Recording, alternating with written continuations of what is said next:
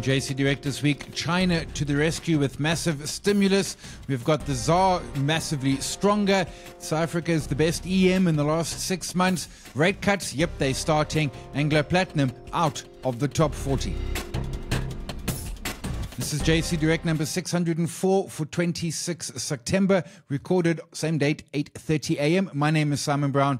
This podcast is brought to you by Just One Lap. Let's start off with the rand, which is uh, really having and not a surprise, right? I think everyone kind of thought this was going to happen. I don't think we are surprised by the fact that we're seeing some rand strength, and it is strong. I mean, make no bones about it. I think uh, 17, 13, 17, 12 was the low that we saw on Wednesday.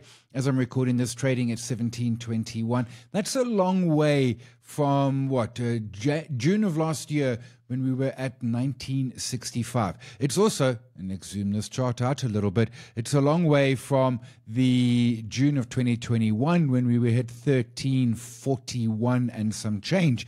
That, of course, was a massive commodity bull run, and that really what helped the Rand in that regard.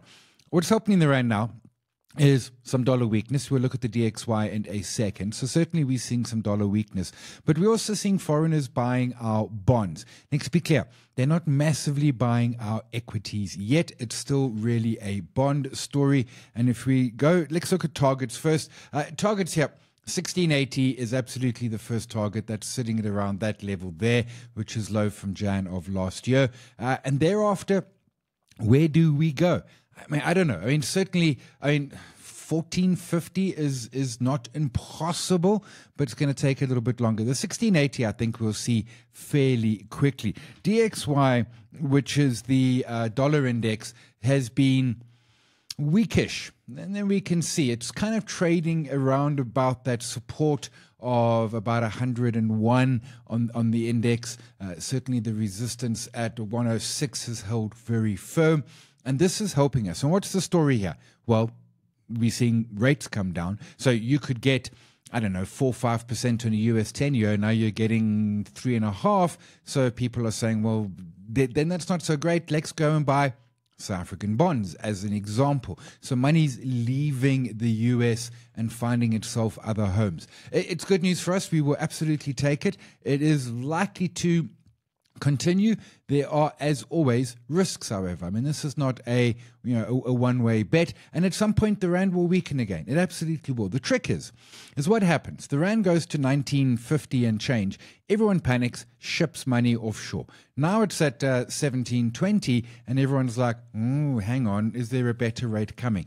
use rand strength to externalize uh, rands and take them into dollars, euro, sterling, whatever the case may be. I have a a, a, process where I take on a regular basis, regardless of the rate. I think my worst is north of 19. Maybe it was 19. I can't remember exactly.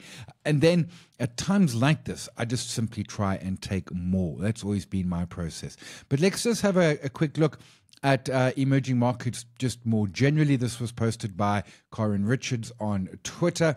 This is only a six month view but we are well outperforming uh, emerging markets generally. This is in dollars, uh, and Brazil and Mexico of the same period, both negative. All three countries had elections in the last six months, and ours is. I think Brazil was maybe election was a little earlier, a little earlier in the year, but certainly what we're seeing is that the, our, our, our market in dollars is doing really, really well, and I don't expect again that to stop anytime soon. Someone did ask me yesterday evening. You know, when does this bull run end? So there's there's two ways it ends because let's be clear, this is a bull run, right? Top 40 or share index, both at all-time highs. When and how does it end? It ends on our own shooting ourselves in the feet, and that is more around the government of national unity, uh, sort of disintegrating. Certainly, there are risks in terms of state owned enterprises. Those haven't gone away. And let's remember, we are still grey listed and we are still sub investment grade. We are junk status. Grey listing should go mid next year, maybe closer to September, October, by all accounts. A sub investment grade, we need to start seeing some upgrades happening there, even just to positive outlooks. And then finally, we're, we're quite deep in the sub investment grade. It's going to take some time to get out of that.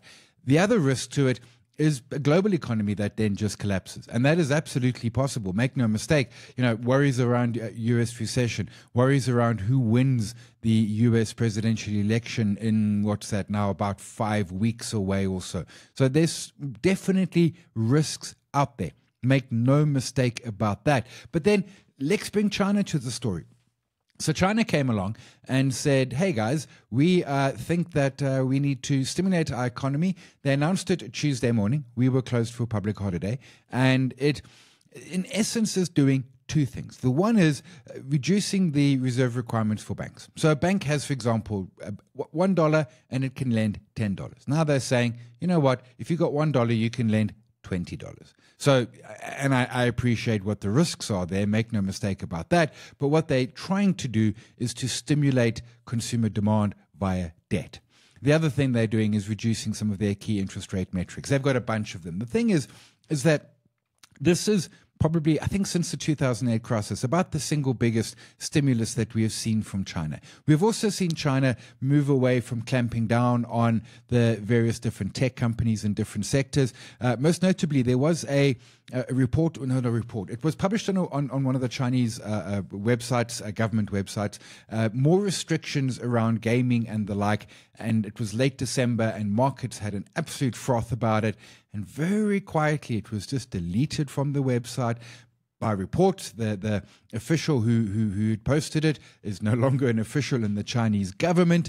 Um, and so we've kind of got away from that common prosperity from uh, Xi Jinping, where he was cracking down to almost a sense of, you know what, we've kind of achieved that common prosperity, so everything's good. We don't have to worry about that. But what we're now seeing is that I mean, the, the, China, and let's go look at some some uh, uh, China ETFs, uh, and we've got the there's a Satrix one. There is also a Sygnia one. I'm going to look at the Satrix one because, to be honest, I can't remember the Sygnia code. Uh, and there it is. And certainly having a good period of it. There's still I mean, make no mistakes about it. There are still uh, issues out there. It's still a ways to go. Uh, if we zoom this out to all the data, if you'd bought it in the IPO, you are still underwater. But both the Hang Seng is looking good, and we're also seeing the uh, Chinese index looking good as well. Commodities also rallied a bit. The theory here is so China's targeting five percent GDP. It's it's it's a big ask, but they kind of do it, and we can debate how good the numbers are. But let's park that debate aside. This will help them. This will help the uh, uh, property market in some degree because, of course, now there'll be more debt out there, more folks can go and buy and hopefully it will also chinese government says hopefully it'll also help the equity market. Uh, chinese citizens are woefully underinvested in the equity market because they were putting all their money into property and because we've seen a three and a half year bear market in chinese equities down about 50% so it's been really really horror in that regard. Notwithstanding, we've had a fairly significant bounce, which started uh, earlier in the year, truthfully, but has absolutely followed through. So better for the consumer. They've also been buying gold, so we might see some uh, upside to gold. Down the line, if this really gets the economy, Chinese economy working strongly, next on the list is commodities, which is why Tuesday, while we were closed in New York, the ADRs did incredibly well, and then Wednesday was a commodity day across our market. If this works. And if the Chinese economy starts booming, and then they start picking up on, on commodities, and those start booming. And, and this is less about PGMs, although it's PGMs to a degree. It's coal, it's iron ore, it's manganese, it, it, it's zinc, uh, it's copper, uh, it's all of those sort of more industrial type uh, metals and, and commodities. That starts to happen. Iran gets stronger. And at that point, remember I mentioned a moment ago how in, in, in 2021 Iran was so immensely strong.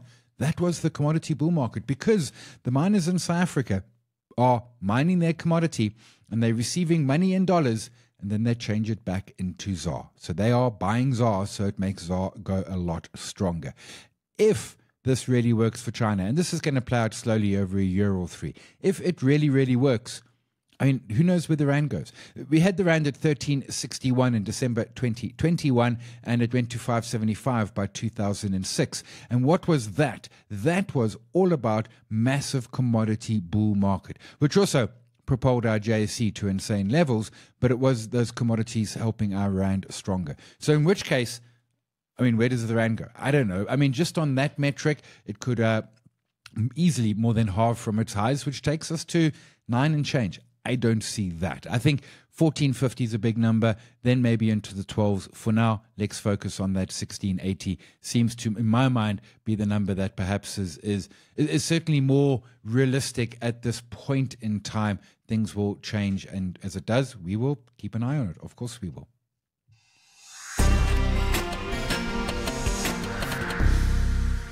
Three events planned, uh, two with uh, ETFSA, uh, Joburg next Thursday, 3rd of October, 6 o'clock at the JSE, either live at the JSE or we've got the webcast, and then 8 October is in Durban. Both of those you can find starting at 6 o'clock. And then we've got a power hour with Professor Adrian Saville on 17 October. That will be 5.30 either at uh, Standard Bank head office in Rosebank or via webcast. Uh, I will be at the Joburg ETFSA event next week. So if you're around, come and say hi. And then, of course, I'll be at the Power Hour as well. Just Justonelap.com slash events for more information and booking.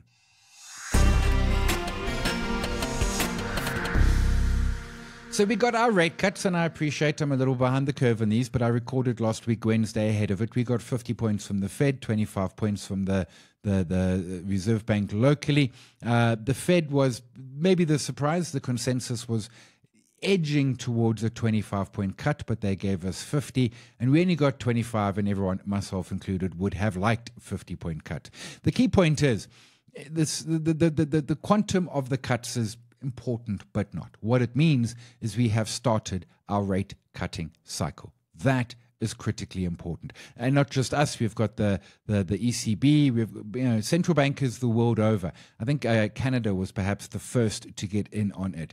We have started the rate cutting cycle, and that is good news. It's good news for stocks with lots of debt, uh, businesses with debt. It's good news for property stocks because now you can't get yield in the government bonds and, and corporate bonds, so you go and buy property stocks. They are the best performing sector so far year to date on the JSE, which you know, okay, off a very low base, I accept that, but still a, a massive uh, uh, surge that we have seen from them so far this year. And I think the valuations aren't stretched. They're probably, I think, reasonable. Uh, we need to see underlying performance improve. That, of course, also is going to be helped by office coming back to the party, but retail's doing okay, logistics uh, doing great, as has been doing for some time.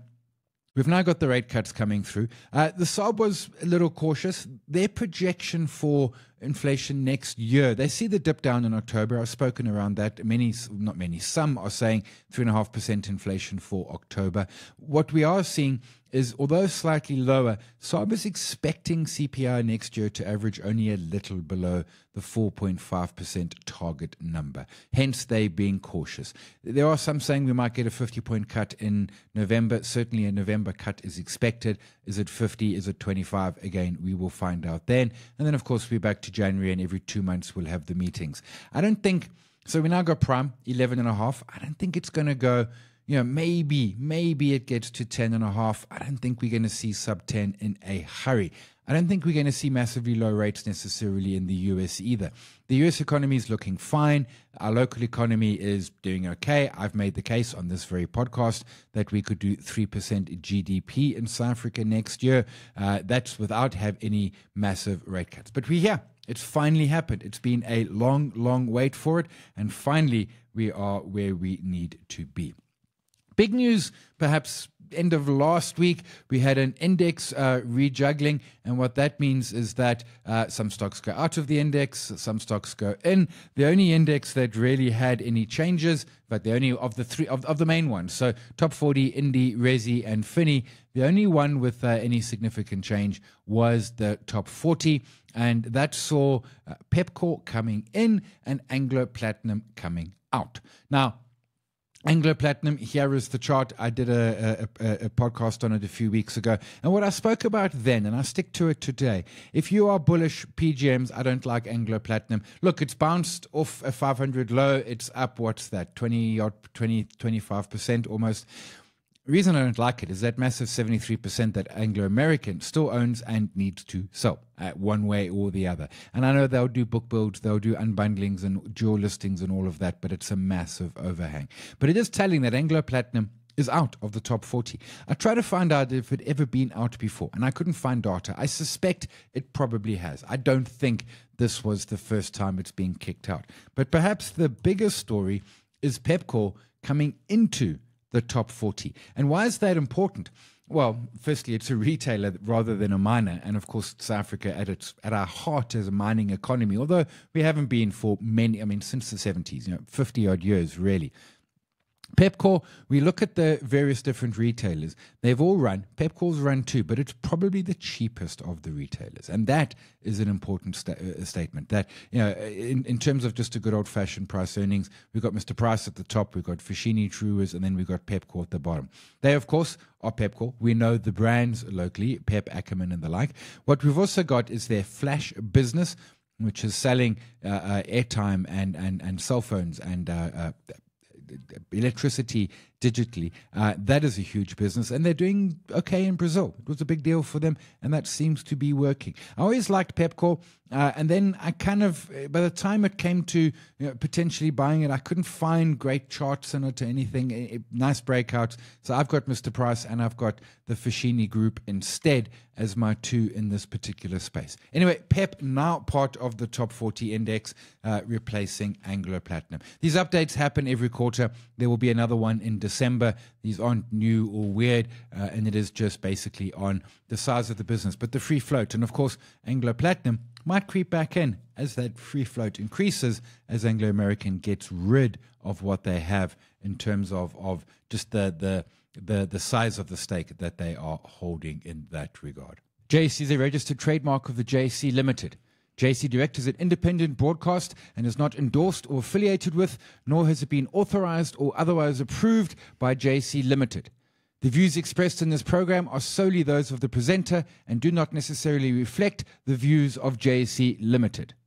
Yep, that will be true. As always, not financial advice, just some thoughts and views. We're going to park it there for today. Remember the events. Uh, come along if you're in Johannesburg um, or Durban. If you're down in Durban, we have got the Durban one. For Cape Town folks who are saying, what about us?